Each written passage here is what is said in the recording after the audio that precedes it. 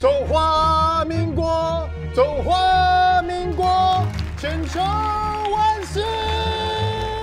为了维护我们中华民国的宪政体系，壮国在此宣布，我将辞去经济部长的职务，参加立委，力抗黑金。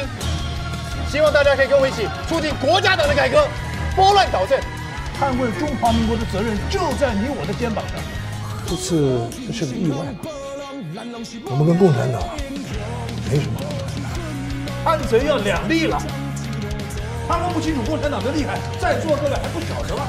台独分子意图制造社会动乱、恐慌，想要推翻中华民国。